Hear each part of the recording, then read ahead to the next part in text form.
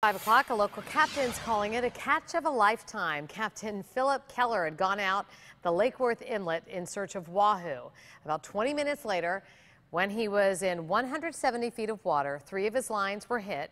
He had two bonita on and something far more difficult to reel in. It was this, a 140 pound yellowfin tuna. I didn't know they grew that large. After more than an hour of fighting, the monster he, and the captain, Joshua Greer, managed to get it onto their boat.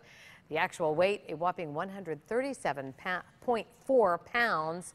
An extraordinary catch, which led, lends us to say, wasabi anyone? A lot of sushi there. Ooh, love that.